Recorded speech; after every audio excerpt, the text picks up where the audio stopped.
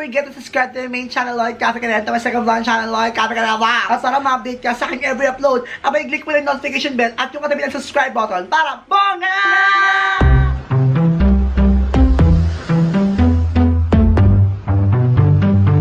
Sa video ito, i-discuss natin ang ilan pa sa mga ganap ng mga nanay natin. Kung hindi mo pa napanood yung part 1 ng ganap ni nanay, panoorin mo na ito yung link. Ako namatay. Kawawa kayo lahat. Walang kikilos para sa inyo. Umaasa lang kayo sa akin lagi. Ano? Isa ka pa? Nangangasar ka? At sa video nito, makakasama natin si Madam Kilay! Number 1, yung tipong yung mga ganda yung gamit, lumalabas lang kapag may bisita. Ganun! Lloyd! Halika nga rito mo. Tumulong ka nga rito. ano ba yun? Tumulong ka rito. Ilabas mo mga mamahali ng mga plato at saka mga baso. Ano po ba to? Ba't ang daming May mamahalin? darating na bisita. Kailangan mamahalin ang ilabas natin. Huwag yung mga dugyot ng mga... Ano po ba yung mga bisita natin? Basta mga bisita. Pag may bisita lang tayo maganyan. Ilabas mo. Saan mo mayaman ang ito? Parang ngayon ko lang nakita yung mga gantong gamit. Ito, masa to galing? Doon sa ilalim ng lababo.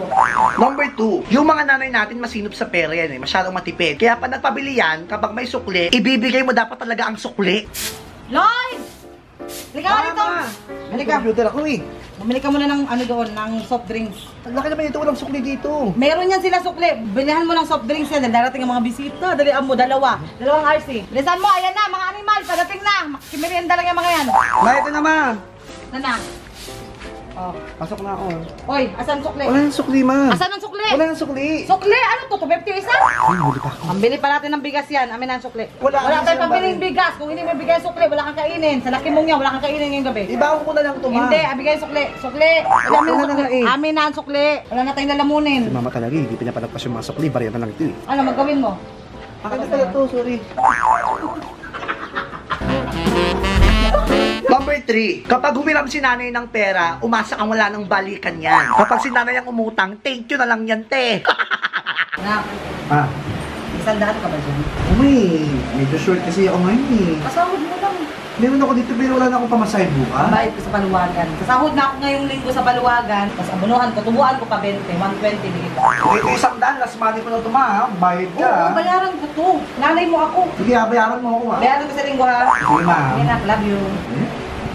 Ay, mama ko man, yung umayan eh. Hindi ko na.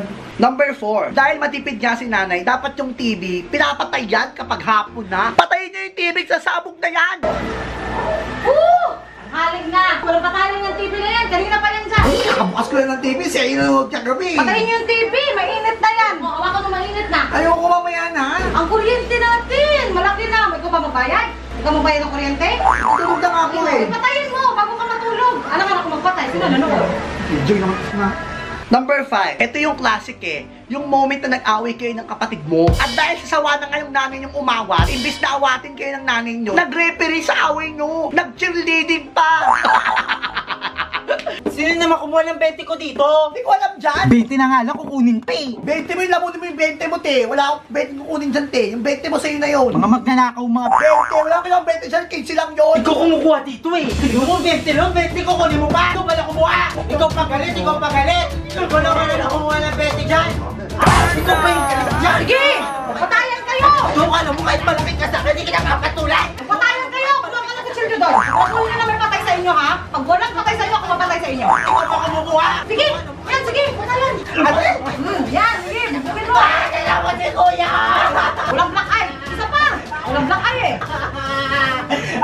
Trabaho ako sa abroad! Na ganito ang itsura ko pag uwi ko rito, ah, lalo ko nangarag sa inyo. Lalo ko nalaspag. Number 6, dahil sa kakapuyat mo, tanghali ka na magising. Alarm clock mo na yung bunganga ni nanay. Ano ba? Tanghali na! Ma, may nasunog ba? Tanghali na! Uulan na lang ng pera sa labas, hindi kayo makakuha dahil tulog pa kayo. Pagigising naman ako, hindi magdahan-dahan pagising, nakakapakinig po nga. Facebook, Facebook, tambay sa labas. Yan ang nababala ninyo. Puyat ang puyat. Puro na kayo chat-chat. Puro kayo cellphone-cellphone.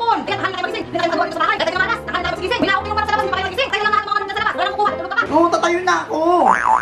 Number 7, hindi pa rin talaga maiiwasan yung i-compare ni nanay yung panahon niya nung 60s, tapos yung sa inyo na yun. Yung panahon nila dati sa panahon natin ngayon, ikukumpara talaga yan noon at ngayon. Hello.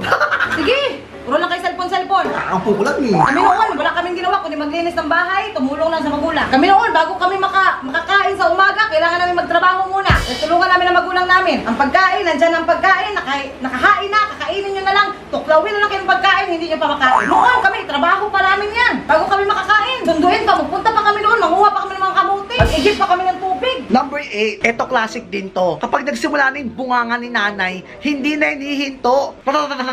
Bunganga ng taon! Ganon. Kayo, andyan na lang ang gripo, hindi pa makaigib. Diyos ko, ang kubeta, walang linis-linis. Kami nga, wala kami kubeta noon. Doon lang kami sa sapa, nag-ihi-ihi. Doon lang din kami naglaba-laba. Ngayon kayo, may washing machine na. Mga labahan ninyo nakakalat pa. Tatayo na!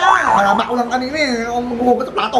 Number 9, kapag nag-prepare si nanay ng pagkain, hindi muna siya kakain. Papaunahin niya muna kayo. Tapos sasabihin niya, wala na busog na ako sa kakaluto. Mga anak, kumain muna kayo, oh. Nag nilaga ako ng saging. Hala, ang sweet naman ni mama eh, pasaging. Julie, makakain ka ma, oh. Sige lang, makita ko lang kayong busog. Busog na rin ako.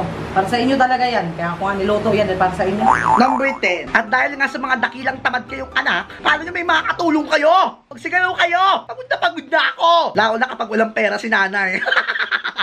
Mainit ang ulo pag walang pera. Ganon. Oo, tumayo naman kayo dyan. Maghapon na kayo nakaupo. Ako na lang lagi gumagawa dito para kayo makakuha ng katulong. Utos ko, sunod ko. Kasi tayo kayo dyan. Lagi na kayo nasa labas. Kung kayo mag-cellphone, mag-TV. Wala na kayong ginawa dito. Trabaho kayo doon. Ang dami ng bahay. Hindi man na kayo naghugas ng pinggan. Nakatambak na yung mga pinggan doon. Para kayo kumain sa restaurant. Madami na yung daga at ipis. Ginagapangan na kayo dito ng daga at ipis. Tamad-tamad